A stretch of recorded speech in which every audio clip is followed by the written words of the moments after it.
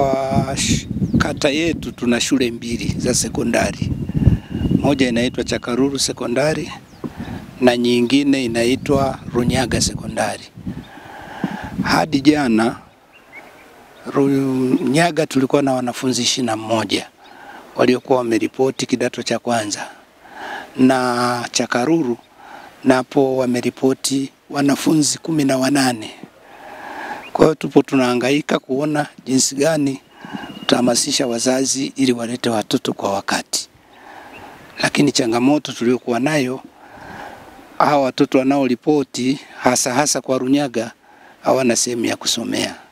Nilikuwa na tangu asubuhi nilikuwa nahangaika ili kuona jinsi gani shule ya msingi itusaidie vyumba vitatu ili tuweze kuwapokea wanafunzi. Lakini changamoto tulionayo kubwa pia, hawa watoto pamoja na kupata vile vyumba vitatu, madawati bado ni changamoto. Kwa hiyo tulikuwa tuna tunaomba kama kuna uwezekano hivi vyumba vitatu ambavyo havijakamilika viwekewe mirango na madirisha na madawati ili watoto waweze kuvitumia kwa Runyaga. Hivi vyumba tunavyo muda mrefu na hivi vyumba vimejengwa na nguvu za, za wananchi. Kwa hiyo tumeshaandika barua kwa kipindi kirefu kwa mkurugenzi ili tuweze kupata usaidizi wa kumaliza hivi vyumba, lakini tulikuwa tujapata mwitikio. Tuna wanafunzi elfu saba mia nne sabini na nane. Wanafunzi wengine wamechaguliwa kwenda shule za vipaji maalum. Kwa ujumla walikuwa wanafunzi elfu saba mia tano kumi na tatu. Maandalizi ya mapokezi yanaendelea na tangu jana tumekuwa nikizunguka kwa ajili ya kuangalia kuhakikisha maandalizi yanavyoendelea katika shule zetu. Ah, wanafunzi wanaenda kuripoti na wazazi wamepewa maelekezo na wakuu wa shule wamepewa maelekezo ya kuhakikisha kwamba wanafunzi wanapokea bila masharti yote, hata kama ana sare, hata kama hana madaftari, apokelewe, utaratibu mwingine uendelee, mwanafunzi wa shuleni.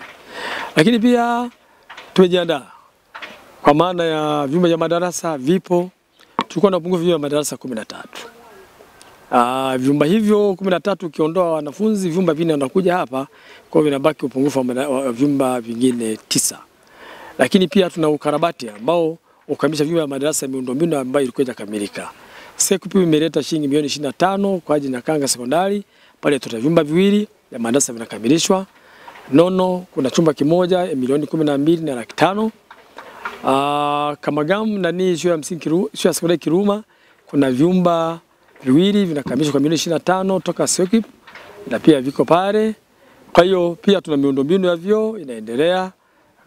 Kayanga tumepata milioni 14 kwa ajili ya matundu ya vyoo, lakini pia na shule ya sekondari uh, Chakaruru matundu sita milioni sita lakini pia milioni 20 30 kwa ajili ya ukamilishaji wa maabara shule ya sekondari Kiruruma.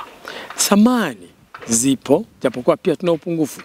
Tumeagiza na naelekea kuelekeza wakuu wa shule madarasa nayo madawati yanapovunjika sio kuyapeleka na ya kuyaru- kuyarundika kwenye vyumba vya madarasa.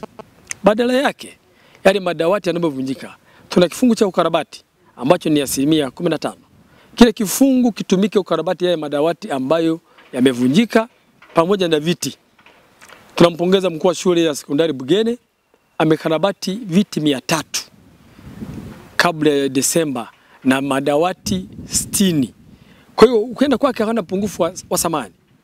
Tumeona viti vingi sana pale Ruhinda. Kwa hiyo tunaagiza wakuu wa shule wote pamoja na baadhi ya shule kupata upungufu wa samani hizo, na halmashauri inaenda kuweka mkakati wa ufuatiliaji na kuona namna kupunguza adha hiyo. Shule zote zikarabati viti na meza ambavyo vimevunjika ili kuhakikisha watoto wetu wanapata mahali pa kukaa na kusoma kwa utaratibu. Yaani mapungufu mengine halmashauri inaendelea kupambana nayo kwa sababu tumeshaweka mkakati wakisha watoto wetu wanakaa kwenye viti na meza hiyo sawa.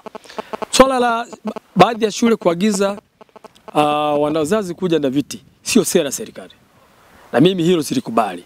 Hayo ni makubaliano ya ndani ya mwalimu mkuu wa shule na wazazi, ambayo yakifanyika hivyo yasiathiri hata kamwe taratibu za kupokea watoto wetu shuleni.